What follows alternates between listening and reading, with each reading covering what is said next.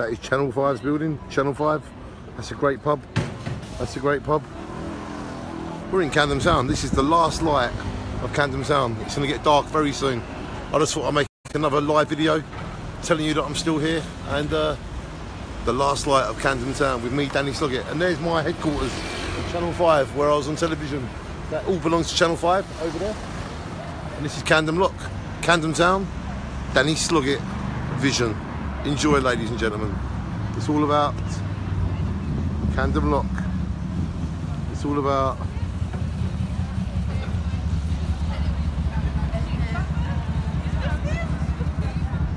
and this is all Channel 5's headquarters.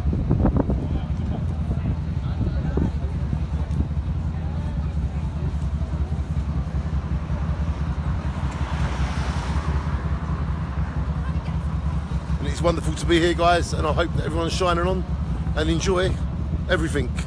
That's what I get from Camden Town. The last light of Camden Town. Don't ever look down on someone unless you're picking them up. Camden Town. Don't ever look down on someone unless you're picking them up.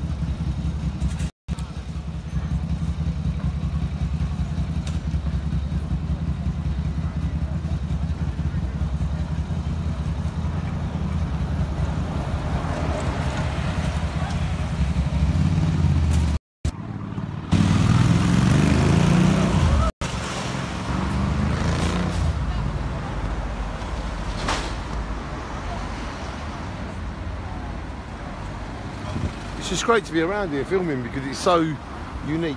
This happens every day here. Just get yourself down to Camden Town, come and enjoy yourself. Life's great. And I love Camden Town. Shine on.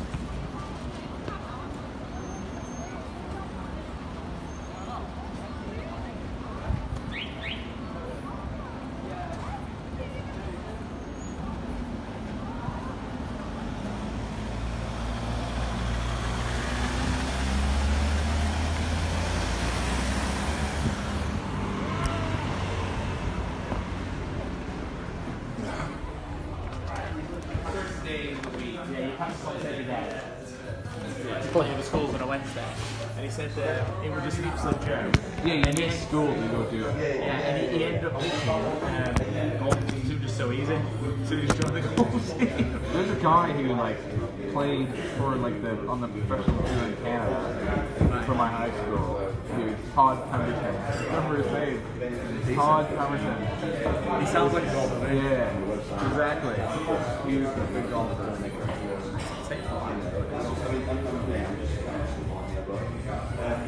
What is this before you? Rugby. Anyway, I played like any sport.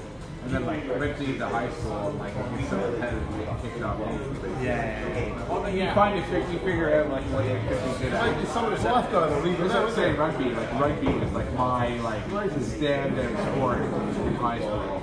So the rest of it was like good. I could play front row, quick and nimble. So it was like the perfect rugby player So I had a friend at that level. I had a friend called Ian who was like one of uh, the British champions like for youth swimming. And he just he couldn't go carrying on, so it was too much getting up before him. And, No, exactly. All of my friends were uh, yeah. Yeah. So like uh, two of the guys I like my two like really good friends that were like we kind of called you were like the six AM guys. Yeah, yeah. They were like fucking he was that guy. Taylor and Zach. At one point, I was sponsored by Kellogg's. And so, if Kellogg's had like a weird brand of cereal out, I'd go like, come and get me a box. And a couple of days later, give me it on the bus. like, there was one where he had like, um, I think just like cornflakes with banana in it, you know, like dried banana. Yeah. They were nice, that. They got me a thing of that for a bit. Yeah, You've already had five beers by now, six. I know, but I'm not like A oh. lot of chips for the road. Culture, the feeling, the beer, isn't it? Does something to you. After, I'm supposed to talk about that guy. But uh, we can plan how we do it I'll tell you when we come back. If we look ahead for when some gigs are on, something we like, we're coming and see something specifically. That'd be a way to do it, wouldn't it?